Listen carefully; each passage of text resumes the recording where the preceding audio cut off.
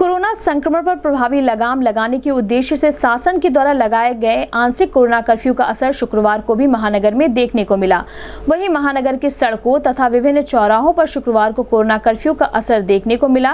वहीं शास्त्री चौक, यातायात तिराहा, धर्मशाला रोड, महाराणा प्रताप चौराहा, रेलवे बस स्टेशन रोड तथा अन्य प्रमुख स्थानों पर वाहनों का आवागमन जारी रहा। इसके संबंध में एसपी सिटी ने बताया कि कर्फ्यू का पालन कराने के लिए महानगर में इकतालीस जगहों पर बैरिकेडिंग के साथ ट्रैफ़िक डायवर्जन भी किया गया है। एसपी सिटी ने कहा कि बिना मास्क के घूम रहे लोगों का चालान किया जा रहा है। उन्होंने जनता से अपील करते हुए कहा कि जिस तरह अभी तक पुलिस प्रशासन का सहयोग किया है, इसी तरह सहयोग करते रहें, बेवजह सड़कों पर ना निकलें और अपने घर में रहकर अपने स्वास्थ्य का ध्यान रखें। कोरोना से अगर जीतना है तो हम लोगों को मिलकर सहयोग करना होगा। इस संबंध में गोरखपुर न्यूज़ से बात करते हुए एसपी सिटी सोनम कुमार ने कहा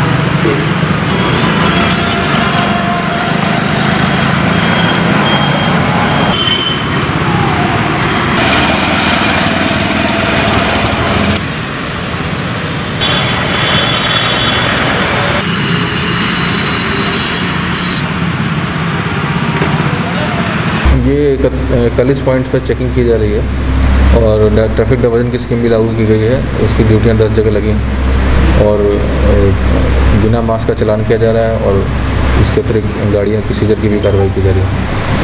सर जनता से क्या? जनता से ये अपील है कि जिस तरह से अभी तक पुलिस और प्रशासन का सहयोग किया है वैसे ही करते रहें। बेवजह सड़कों पर ना निकलें बाहर ना निकलें और अपने घर में भी अपने स्वास्थ्य का ध्यान रखें। कोरोना से अगर जीतना है तो हम सबको मिलकर इसे लड़ाई करनी पड़ेगी। देखिए, जो अनावश्यक से बाहर निकल रहे हैं, उनके खिलाफ सख्त कार्रवाई की जाएगी। उन पर मास्क और उनके गाड़ियों के सीजर की भी कार्रवाई की जाएगी। इसलिए आप लोग घर से बाहर ना निकलें। अगर बहुत ज़्यादा आवश्यक हो तभी बाहर निकलें।